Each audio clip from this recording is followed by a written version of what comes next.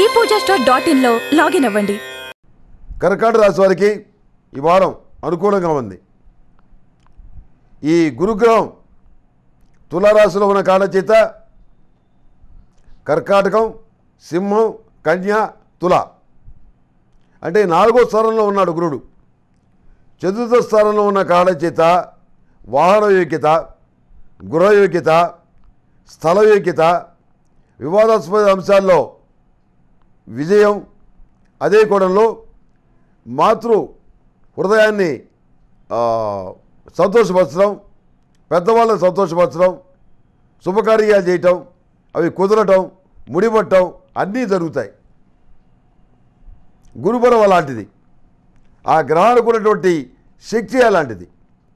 గురుగ్రహ బలం లేనిదే ఏ ముహూర్తము కూడా పనికిరాదు.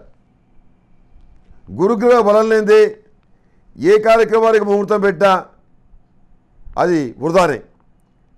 అన్నిటికీ కారణం ఈ గురుగ్రహ బలం మీద ఆధారపడ్డటువంటి ముహూర్తం ఏదైతే ఉందో అదే నడిపిస్తుంది.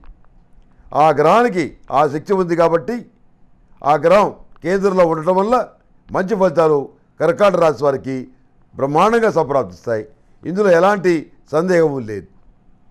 పరమ పవిత్రమైన ఈ కార్తీక మాసంలో అష్టములుగా తైలతో ఊర్ణమ శివాయ ఒత్తులతో దీపారాధన చేయండి. అఖండమైనటువంటి అమృత మహాపాశుపత హోమం చేయండి. అదేవిధంగా మహాలింగార్చన చేయండి. మాత్రమైనటువంటి ఫలితాలు ఖచ్చితంగా సంప్రాప్తిస్తాయి. ఈ రాశిలో జన్మించిన వారికి వైలెట్ కలర్ బాగుంటుంది.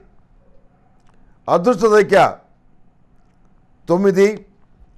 ఏదైనా పని మీద బయటికి వెళ్ళేటప్పుడు ఓం నమ శివాయ అనేటువంటి మహామంత్రాన్ని పదకొండు సార్లు జపించి బయటికి పెట్టడం వల్ల మంచి ఫలితాలు సంప్రాప్తిస్తాయి.